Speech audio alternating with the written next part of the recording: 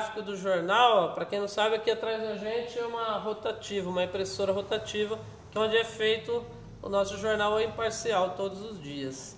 A gente resolveu mudar um pouco o cenário aqui. Mudar um pouco, mostrar para vocês como é que é, como é que não é. É. Tem jornal para todo lado aqui. É isso Tá aí. ok? E vamos aos destaques do Jornal Imparcial que circula nesse sábado.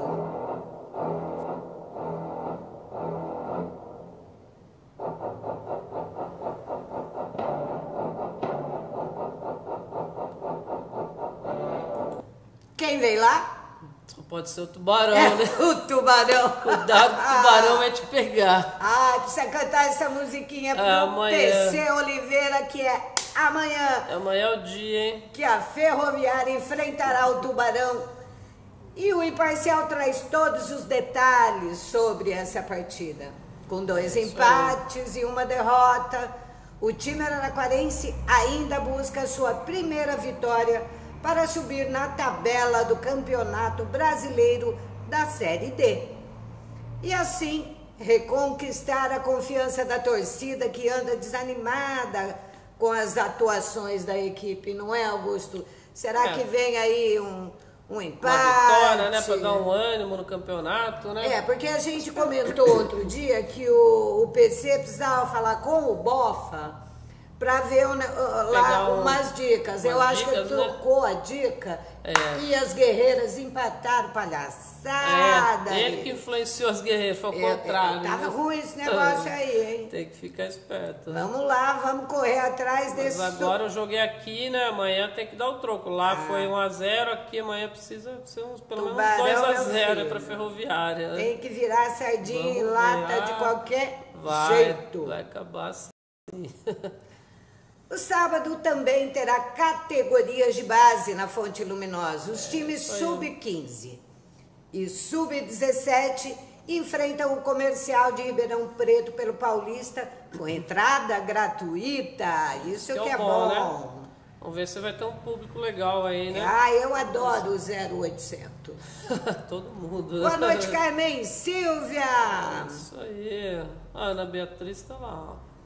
E outra boa dica para quem gosta de esportes é o jogão da Uniara e Magnus de Sorocaba, Também. pela Liga Paulista de Futsal. A partida será realizada às 19h30 deste sábado no Gigantão. Mesmo sem o craque Falcão, que não vai com a nossa cara, e já é a segunda vez que não vem, porque se recupera de lesão, É. a partida tem tudo para ser repleta de emoção já que o time araquarense precisa da vitória para se reabilitar na competição. E o time de Sorocaba é uma das potências do É um futsal melhores, né? brasileiro. Do Brasil, é. Vai ser um Então, jogão, né? Vamos lotar Mesmo- o gigantão. Mesmo sem o Falcão, ah, promete ser um jogão, né? Vamos É, ver. ainda bem que no fim a gente fala, ainda bem que ele não vem. Ainda bem que ele É, não veio. Olá, bem. Margarete Cristina, que ganhou o prêmio Oi, hoje, Margot. uma das sorteadas. A gente queria agradecer aqui também. Hoje a gente é, distribuiu os prêmios para quase todo mundo, né? Que a gente sorteou ontem. Ficaram faltando acho que umas duas pessoas que ainda não vieram. Agradecer aos nossos parceiros, né? Que ajudaram a gente, é, fornecendo os brindes pra gente aí. Boa noite, Elcio Demeto, meu amigo querido lá de Salto Grande. Marlene Lopes. Ronesier, Caracas. Lá, nosso amigo Caracas está aí também falando do cenário, ó. É, É, Rony, para quem não conhece uma impressora, ó, tá aqui atrás da gente, ó. Tem uma, várias rotativa rotativas aí. Já o cartaz, o cartaz traz uma lista de todos os programas culturais oferecidos na cidade, como o Concurso Nacional de Contos, o Araraquara Rock e Semana Luiz Antônio. Corrêa. E as oficinas culturais que possuem cursos para todos os gostos. É isso aí. Eu estou muito interessada nesse concurso de contos. Estou pensando seriamente em me É inscrever legal. e e fazer um conto Quem aí, sabe não né? ganha o prêmio é bom, né? Tem uma premiação em dinheiro também. É, né? aí Quem gosta de escrever é. aí, tem facilidade, ó. uma Duas boa. paixões, ah, escrever e dinheiro. Dinheiro. Ah, não é? Boa noite, Valdecir. Nós vamos falar ainda. Calma, meu filho. Tá no começo. Não faltou, não. Era aí. Prefeitura aplica mais de mil multas e limpa 307 terrenos particulares. Em 2017, proprietários descumpriram a lei e não providenciaram limpeza de seus terrenos. Eu acho que tem que multar mesmo, É. tem que dar dura nessa Teve 200 e gente. poucas multas também de 5 FIRs, né? Cada uma. É. É, teve também. Tá Porque, na pelo amor, hein? Convenhamos, você tem um Fogo, né? terreno, vai limpar, Pelo vai menos o seu, cercar. se cada um limpar o seu fica fácil, né?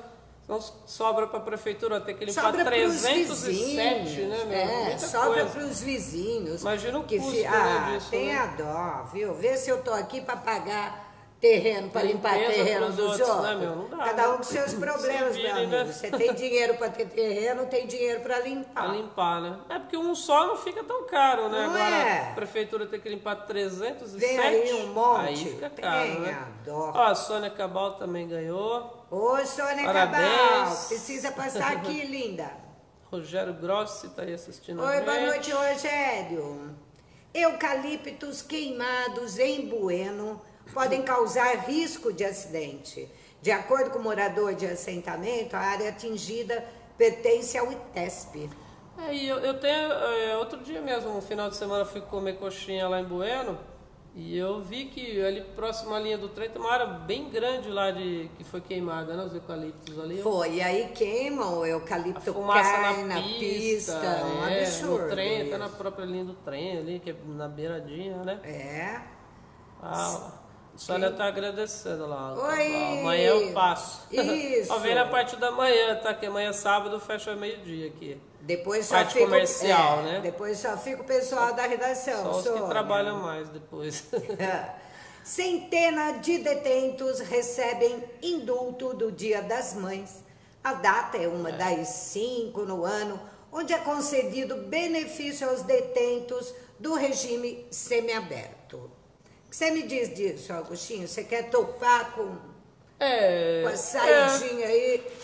é o benefício Tá que eles têm direito, né? Todo ano tem cinco ocasiões aí, né? Que eles os que estão no regime semiaberto, não são todos também, né?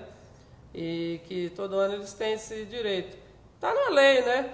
O problema é que muitos deles aproveitam desse benefício tá, de estar na rua para cometer delitos, né? É, esse que é o grande problema. alguns né? por conta própria, alguns até obrigados, né? Porque às vezes fazem parte de alguma organização, Organização. criminosa, né? Então o cara fala, ó, se você voltar aqui sem cometer tal coisa, você morre, né? É bem complicado. Então é complicado, e dá até medo, né? Porque são no Brasil inteiro, acho que é cerca de 30 mil, uma coisa assim. E sempre tem ocorrências envolvendo esses caras que estão de saidinha aí, né? No- É. Quando eles estão aí nas ruas aí, infelizmente, todo ano. Semana que vem a gente vê os BOs aí, É, né? semana que Sempre. vem a gente já dá o resultado É, dessas que, que foi isso. saidinhas. Muitos, muitos não, né? Vão pra casa deles, né? Se encontrar com a família e tal. Fica numa boa, na segunda-feira voltam, né? Que, inclusive, se eles não voltarem no dia marcado, já passam a, a ser foragidos, né? E aí eu E muitos não voltam que... também, Sim, né? é, Muitos vão, acabam sendo aproveitam aí. recapturados depois em alguma ocorrência aí pela polícia militar, né? Ou civil, né? É isso aí. E outros somem mesmo.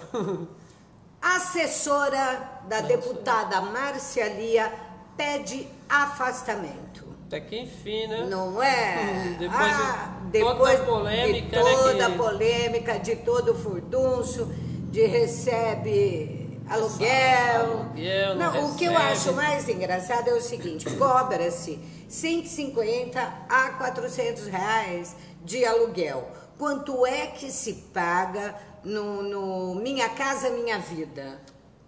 Quando tem Dependendo, uma casa, Tem gente a aqui em mensalidade- Araraquara que paga 20 reais por mês. Ali no Vale Verde, ali, 30, 40 reais. 30, 40 reais. E como que alguém que é invade uma isento, de moradia, IPTU, né? é, invade uma moradia, consegue pagar 400 reais. É que na, na- na cidade de São Paulo um aluguel é caríssimo, né? Tá, não mas e a parcela? né, A parcela essa- do Minha Casa Minha Vida lá. É, é Chega a mas 400 é- reais. mas Esse é o- que é o problema. É. Isso que precisa ver. Não, então, mas é o que a deputada eh, fala, alega, né? Que precisa de mais é, programas de Programas- habitação é. na cidade de São Paulo, principalmente do prefeito, né, que agora até se afastou para concorrer a outro cargo, para tentar diminuir esse problema aí da falta de moradia, né? Falta lá é, investimento na cidade mais rica da América Latina, né? Será que está tendo esses investimentos da prefeitura, né? Olha, Isso investir. daí é um caminho que o pessoal encontrou, né? Agora, cobrar deles é que é o problema, né? Precisa Mas cobrar, assim, tem os precisa dois cobrar, lados, Tá né? errado isso. É. Tá errado.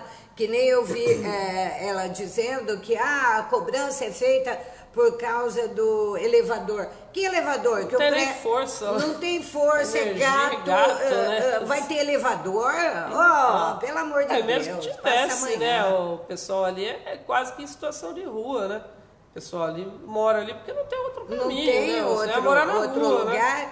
E as pessoas se aproveitam disso É, para rapelar o que pode do E pelas coitado. matérias que eu vi na televisão, vários programas, o pessoal lá todos, quase todos trabalham, né? Tem uma vida normal, né? De uma família que só não consegue pagar um aluguel na cidade mais do metro quadrado mais caro do Brasil, uma dos mais caros do Nem mundo. eu né? consigo pagar um Não, aluguel. imagina em São Paulo. No centro de São É, Paulo, você o consegue. aluguel de um apartamentinho ali é 4 mil pra cima, né? Boa noite, Cristiano Romachelli. É, aí, ó.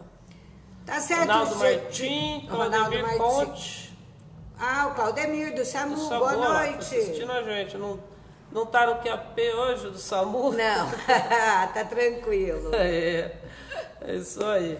Então tá certo, gente. É isso aí, por hoje é só. No jornal você encontra mais notícias É. que não dá pra gente passar tudo pra você. E, e pode voltar a assistir o último capítulo da novela, É, hein? vai- vamos lá que eu Que quero hoje embora acaba, o hein? a novela. Eu não assisti a novela inteira, quero assistir o último É, capítulo. vamos é lá. fim, né? Boa noite, gente. Tá, Beijo pra noite. vocês. Até mais.